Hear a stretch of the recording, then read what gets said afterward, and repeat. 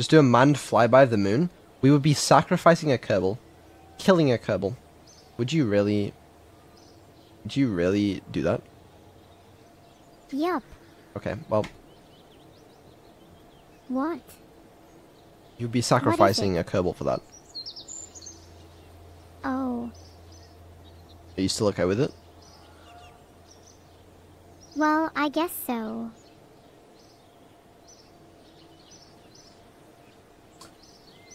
Do I need to teach you ethics again? LOL. Okay. Great.